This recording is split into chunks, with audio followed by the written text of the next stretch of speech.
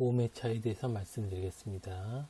오매, 매실입니다. 그래서 매실차에 대한 기록은 두 개, 오매자 차에 대한 기록도 두 개, 근데 오매차에 대한 기록은 세 곳에 나와 있습니다. 밖에 통고, 조선무상 신시 요리제법, 임원 16지 이렇게 나와 있고요. 밖에 통고 저자 미상이고 18세기 이후 오매자, 오매차 만드는 법 원문입니다. 번역문입니다. 오매육은 가루로 만들고 거품을 걷어내 정지한 좋은 꿀에다 오매육 가루를 넣어 풀죽처럼 잘 섞어 도자기 항아리에 넣어 보관한다. 더운 여름철에 물을 타서 마신다. 갈증을 해소하기에 좋으며 제어탕 대신으로 마실 수 있다. 이렇게 되어 있습니다. 조리법 1. 오매육을 가루로 만든다. 2. 꿀의 거품을 걷어 정지한다. 3. 2에 오매육 가루를 넣어 풀죽처럼 잘 섞어 도자기 항아리에 넣어 보관한다. 4. 여름철에 물을 타서 마신다. 갈증을 해소하며 제어탕 대신 마실 수 있다. 이렇게 되어 있고요. 도자기 항아리 필요합니다.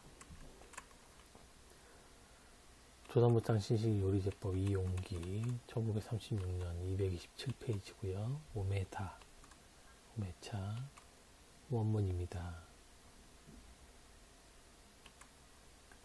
번역문입니다. 여기서 백청이라는 것은 색이 맑고 깨끗한 고급 꿀이라고 합니다. 조리법 1. 오메육을 가루낸다. 2. 짓불 연기에 거슬려 매실을 말린다. 3. 이의 씨를 바르고 살은 곱게 가루낸다. 4. 백성을 끓이다가 1과 2를 넣고 휘저 백항아리에 담아 두었다가 마신다. 이렇게 되어 있습니다.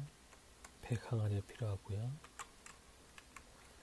임원 16지 서유고 1835년경 오매차 여지탕방 원문입니다. 번역문입니다. 조리법 1. 오음의 0.5근을 깨끗이 씻은 후 졸여 씨를 제거하고 찌꺼기를 걸러낸다. 2. 설탕 두근을 끓인 물에 녹여 찌꺼기를 걸러낸다. 3. 오메와 설탕을 같이 버무려 반으로 줄여들 때까지 졸인다. 4. 3회 계피가루 3전, 건 생강가루 0.5냥, 정향가루 한 전을 넣고 다려 고로 만든다. 이렇게 되어 있습니다.